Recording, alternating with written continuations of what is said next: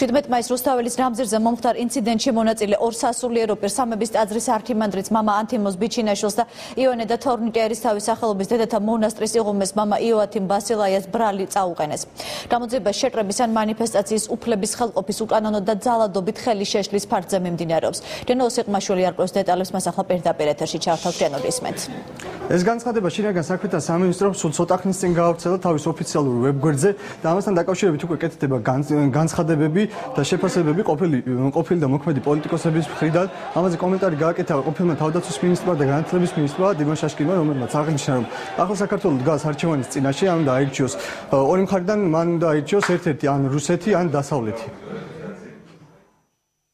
რაც შეეხება თვითონ ფაქტს, რაც მოხდა 17-ში, მე მაქვს ძალიან მარტივი პოზიცია.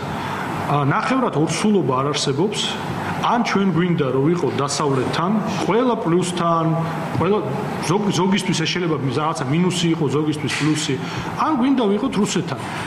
იქაც და აქაც ვერ სასულიერო პირებისთვის ბრალის დაყენებასთან დაკავშირებით უკვე კეთდება განცხადებები ასევე მთავრობის წევრების მხრიდან. ლიტვაში ვიზიტი მყოფა თავდაცვის მინისტრმა ირაკლი ალასანიამაც გააკეთა ამაზე განცხადება და ასევე მას გამოეხმაურა გიორგი მარგველაშვილიც, რომელმაც განაცხადა, რომ კანონის წინაშე ყველა ადამიანი თანასწორია და ამიტომ კანონმა ყველა ადამიანი თანასწორად უნდა გაასამართლოს.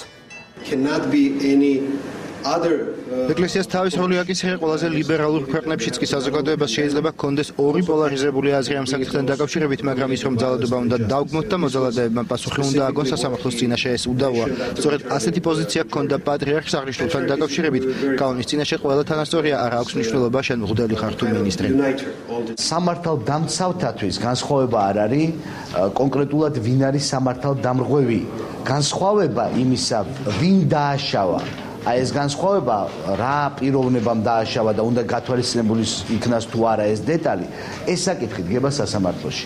თორე თვითონ სამართალ დამცავისთვის როგორც პოლიციისთვის ასევე პროკურატურისთვის ადამიან კონკრეტული სამართალ დამრღვევის ვინაობას მნიშვნელობა არ აქვს იმდენად რამდენადაც ეს ინფორმაცია შენგან საქმეთა სამინისტრომ სულ რამდენიმე წუთის წინ გავრცელა ამდენად მთავრობის წევრებს უჭირთ ამაზე კომენტარის გაკეთება და უმრავლესობის წევრებს ჩვენ შევეცადეთ ჩაგვეწერა ისინი თუმცა მათ არ ქონდათ ამასთან დაკავშირებით. ინფორმაცია ერთადერთი ვისი ჩაწერაც მოახერხეთ არის ირაკლი ტრიპოლსკი უმრავლესობის წევრი რომელმაც ამაზეც გააკეთა კომენტარი. თუ რამე დააშავეს, გინდა სამგდელო იყოს და გინდა ჩოვლებრივი საერო ადამიანი იყოს, დანაშაული, დანაშაულია. ის ადამიანები ჩვენ ქვეყანაში ცხოვრობენ, ჩვენი მოქალაქეები არიან, ისე რომ თუ ხელყოფა იმის დავეთანხმები და გამოვალ და ვიტყვი რომ ხელყოფაა თუ არ არის ხელყოფა და დამნაშავეები არიან აბა როგორ გითხრათ? არ ვიცი.